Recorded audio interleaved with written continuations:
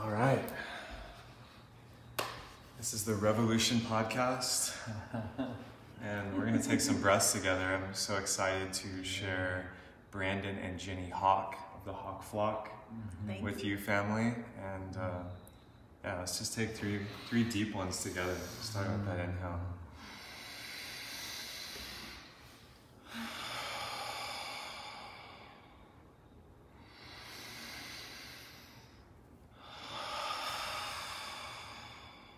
Just holding this one at the top for just a second.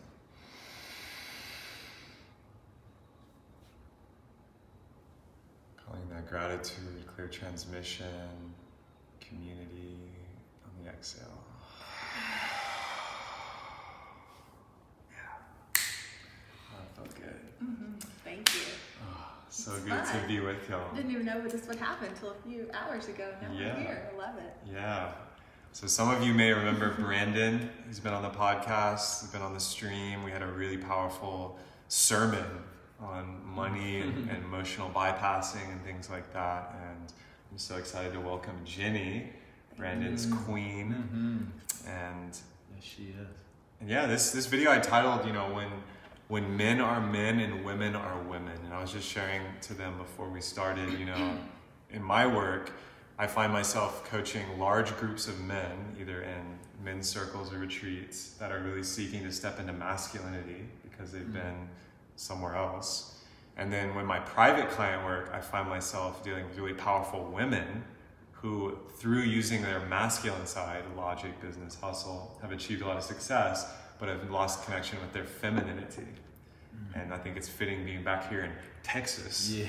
where I, I was born and raised, and you guys are also Texans. Uh-huh. We're here in beautiful Austin, the capital, and yeah, just I guess just let's just start there. Like you were you were about to go on a powerful riff about you know men making that jump um, into manhood and what the bridge is, which is where those Oh, rites of passage are.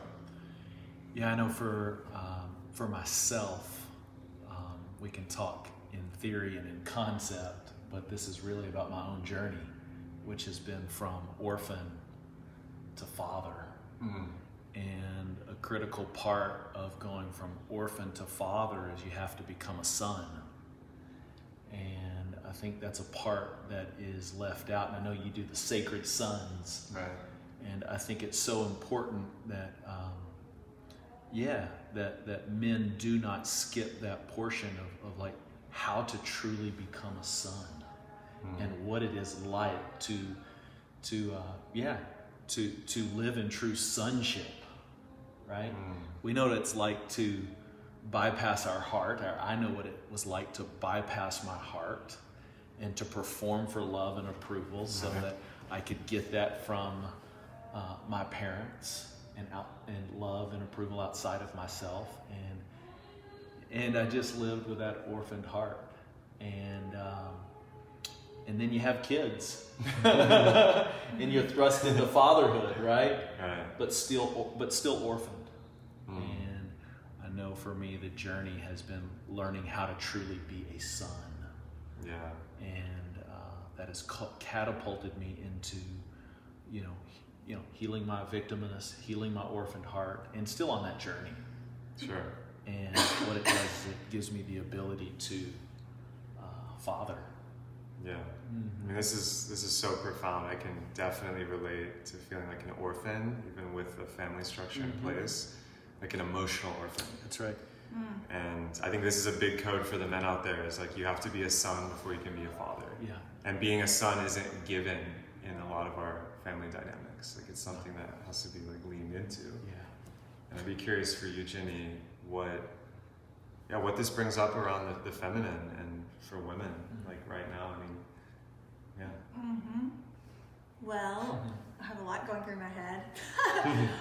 um, I think with what you said earlier, I started out, you know, as a little girl in school and everything being in sports and being good at making good grades and being kind of in that masculine world. I like kind of got my value from Mm. being good at some of those things and competing and and all of that. So I think and, and also and in a religious environment and Mm. we we got married in a religious state and so um, I think at home I kind of took over some masculine roles with being good at money and being organized and um, stuff like that. So, but then in like the outside world, I think Brandon was more the masculine energy. But Mhm. Yeah, it was definitely a journey because I don't think that didn't work out very well. Uh, me at home being that controller and that. Um, Yeah, she was really. because I was good at it, and I was like, I'm not letting Brandon do it. He's not good at it. The Like, control, you want to let off like the, Yeah. the clutch. and- yeah. yeah. And so we've been on definitely an up and down or a journey. I think we've picked each other perfectly because So do we you? have sparked each other's fears and, and had to really. I've mm-hmm. had to be become Yeah. a woman and trust, like really trust in something bigger than Brandon or religion or any of that to really trust my feminine. Wow. And So would you say that coming up in that environment, like you said, being in a relationship young, being in a church environment, that you that was like your conditioning, like it felt like you, oh, I, I need to like step into in the home, like taking on this masculine yeah. roles. Like it was not like something you chose, like oh, I guess I'll switch into this. It was no, no, it was just very so unconscious, just just unconscious, yeah. And you're just not taught how to operate your feminine at all right. in those in that kind of upbringing. Wow. So it's been a fun journey to learn, and it feels very empowering to let go. And even the past six months, like letting Mhm. you really be more in control of some of those areas that Yeah. doesn't feel good to me. Yeah. And, and I saw that it was easy to be masculine externally to the world, and and I'm more of an external person, but coming into the home, um, I would relinquish kind of that role and step back into little boy Mm. and um, like Ginnie, take care of me, or Ginnie, you know, uh, do some of these things that, that feel hard to me so I don't have to feel certain feelings. And so And I, that's not very attractive, is it? Well, I mean, and I'm not come very. on and. I'm, and I'm, I'm just saying, and that's I not mean- very. He's not very attractive to me when I'm like, no, you can't do that, or no, you can't spin that, or no, Right. this is this, and yeah, like, Well, I think I think a lot of people can relate, and this is something that came up really strongly the last Sacred Sons. Which shout out to these guys, amazing group of men. Um, I think I would love to connect you with them. I see some synergy there. Um, but the mother wound, the mother and father wound, because when that mother son dynamic emerges in a relationship, and I can relate, like I think most Mhm. people can, as a man switching into like the son, like boy, and then the mother comes online, and that does two things: kills sexual polarity, mm-hmm. and two, it enables a lot of control patterns and dramas. Mm-hmm. You know, like poor me, or like the intimidator, or like you know all these little these little demons running amok. And then the opposite can happen too, and you see this with I think money with um, father daughter, where the man is like financially sovereign and the woman isn't. Mhm. That enables that pattern, Yeah. and I think that one actually may be less common in my generation for some reason. There's a lot more boys Oh, yeah. because the women have just, just kind of armored up. They've put on the armor and they're like, well, if there's no men, I guess I'm gonna make all the money. well, you're just taught you got to do that. What else are you Mhm. gonna do but be strong yeah.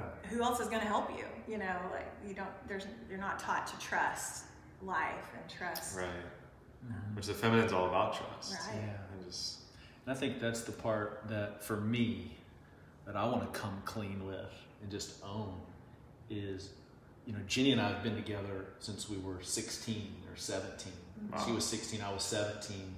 So, and I'm 39 now. Can you so give us the micro do- story? Like, do the math, right? you like you said you lived down the street from each other. What was Well, what's the story? Like, this, the the short version. We live 30 minutes apart, Okay, small okay. towns. yeah. Met at a baseball game. Oh my Yeah. god, it's just Americana. It's a Yeah. classic Texan. Like, Yeah, Mhm. small Wow. town, sweetheart.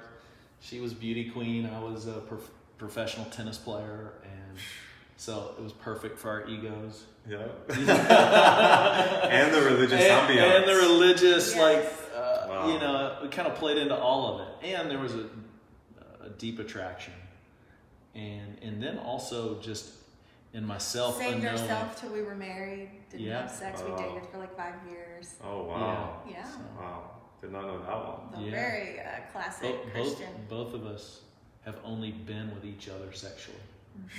Which I don't think I've ever said that on Whoa. any other Wow. podcast or anything. I think people, yeah, people will be. Yeah, this is this is a testament. It's, it's rare, right? And- it's and- rare, but it's I think it's powerful. Like, And we've been through probably three different marriages. Yeah. you know, Mm. and having to shed the skin uh, and, and really be willing to let each other go and to let the marriage go and to get very real with where we are. And we also have three children 14, 13, and 10. And so there's a lot, you know, writing on it, Right. those, those, those moments of release and truly letting each other go. Wow. And uh, I feel like that's been the thing that, that why our connection has increased is because we've been willing to let go. And we've been willing to let go of those things we want to control. And then we've also I uh, think we moved towards. back is- together because I think we we do love each other so much. So we end it, we end up back in love, like Mhm. choosing the highest vibration. Um, in the midst of you know after we detox all the pain and go through all the fears and all of it, I think we always do come back to say we Yeah. do really love each other, Yeah, yeah, we have, and I think we're like yeah for sure. so I guess transformational partners. yeah, that's a, that's sure. a great.